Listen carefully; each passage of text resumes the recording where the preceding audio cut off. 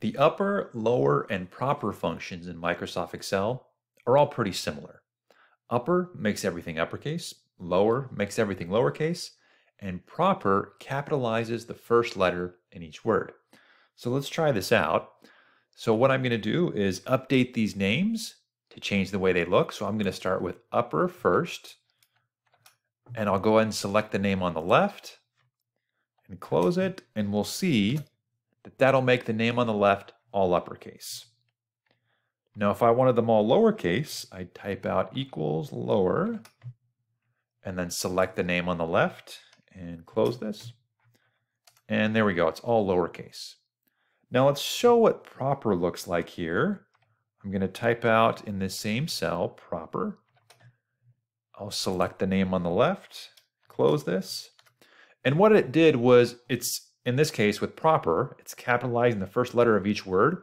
So it took Chase, the last name that was lowercase, and capitalized the first letter.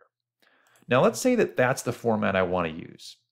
Instead of retyping this formula in every row, what I can do is go to the bottom right corner of the cell until I see this symbol appear, double click, and it'll autofill all of it for me. Now what I may want to do here though is Let's say I want to keep this updated name column and get rid of the first column.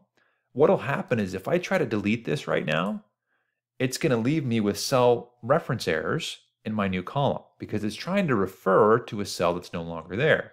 What I want to do is remove these formulas so it's just text left over. One way to do that is to click on, in this case, B up above here to select the entire column and then hit Control or Command C to copy this column. And then I want to paste them in as values by going to the paste options here and then choosing the third option, which is the first under paste values, to just paste values and not the formulas. Now if I click on a cell, I'll see that the formula is gone. It's just the name of the individual there. Now if I delete the first column, I should no longer see these errors and I've got my cleaned up name here. Thanks for watching. Now, if you want the link to the sample file used in this video, it's down in the description, as well as a link to an Excel course if you're interested.